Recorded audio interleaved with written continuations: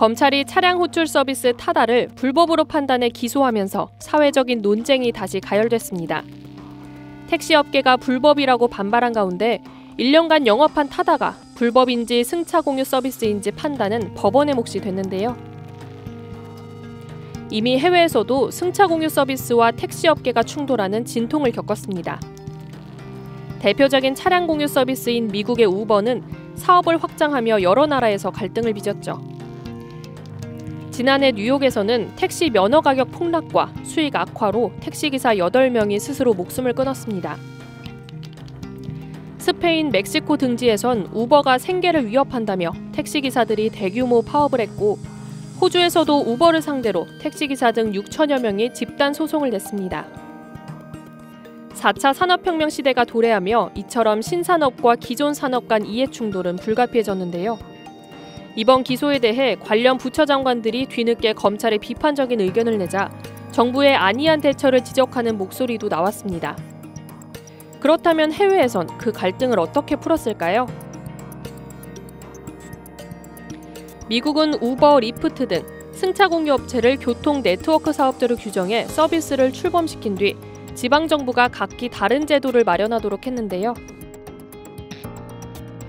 뉴욕시는 우버 운전자 1인당 등록 면허세를 내게 했고 차량 공유 업체의 추가 면허 취득을 1년간 제한했습니다. 메사추세츠주는 우버가 택시 발전 기금을 내게 하고 플로리다주는 택시업계 규제를 푸는 방안을 택했습니다. 또 캐나다는 택시 면허 공급량 제한을 폐기하고 탄력적 운임제도 도입 등 규제 전반을 개선했고요. 호주 뉴사우스 웨일즈주 정부는 우버를 호출할 때마다 이용자들이 택시 업계를 위한 상생 펀드를 1달러씩 내도록 했습니다. 핀란드의 경우 택시 면허 건수 총량제 폐지, 택시기사 요금 자율화 등 택시업계 규제를 완화했습니다. 북토부도 지난 7월 타다 같은 플랫폼 택시 사업자가 수익 일부를 사회적 기여금으로 내 택시 면허를 매입하는 등의 조건으로 합법 영업하는 개편 방안을 발표했지만 양측을 모두 충족시키진 못했습니다. 이게 이제 뭐 100% 만족할 수는 없잖아요. 어느 집단이든 간에. 아, 그러면 양쪽이 서로가 양보하는 선에서 하고 하면서 정부가 중재를 명확하게 들어가야 되는 거죠. 자동차가 나왔는데 언제까지 마차 타고 다니라고 할 수 없잖아요. 궁극적으로 기본 방향은 결국 공유 서비스가 어, 나중에 지배적인 서비스 모델로 갈 수밖에 없는 것을 정부가 인정을 하고 그쪽으로 끌고 가야 되는 거죠. 지난 4일 여론조사 기관 리얼미터 발표에서도 성인 남녀 500명을 조사한 결과 타다가 혁신적인 신사업이라 생각하는 여론이 불법 서비스란 쪽보다 두 배가량 많다는 결과가 나왔습니다.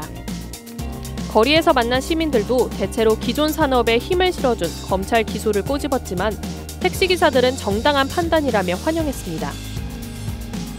택시를 타보면 기사님들이 불친절하시거나 특히 승차 거부가 있거나 저녁에 뭐 집에 가야 되는데 본인이 거의 가지 않으니까 못하게 한다거나 그러면은 심리 입장에서 굉장히 불편하고 어, 택시 이외에 다른 교통 수단을 찾게 되는데 국민들은 내가 통행을 하고 그 통행을 통해서 행복을 추구할 권리가 있는데 그 권리를 일방적인 법률적 잣대로만 가지고 판단하는 것이 국민이 가져야 될 기본적 행복권의 침해가 아닌가. 아무래도 살기 힘들다 보니까 그래도 저희 소비하는 그런 입장보다는 그 택시 아저씨들한테 더 존중을 해야 되지 않을까. 저희는 정당하다고 생각하고요. 어쨌든 렌트카로다가 된 거잖아요. 근데 그거 손님을 태우고 다니니까 저희 저희는 많이 불편하고 수입에도 지장이 많으니까 정당하다고 생각합니다. 정부와 국회가 택시와 모빌리티 업계 간 사회적 합의를 끌어내기 전에 사법적 잣대가 쟁점이 된 만큼 상생 해법을 찾는 논란은 계속될 전망입니다.